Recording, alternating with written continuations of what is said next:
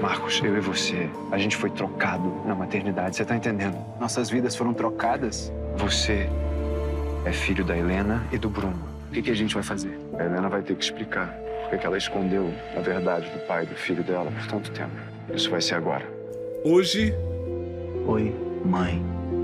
Demorou 25 anos. Mas finalmente encontrei o caminho de casa. Elas por elas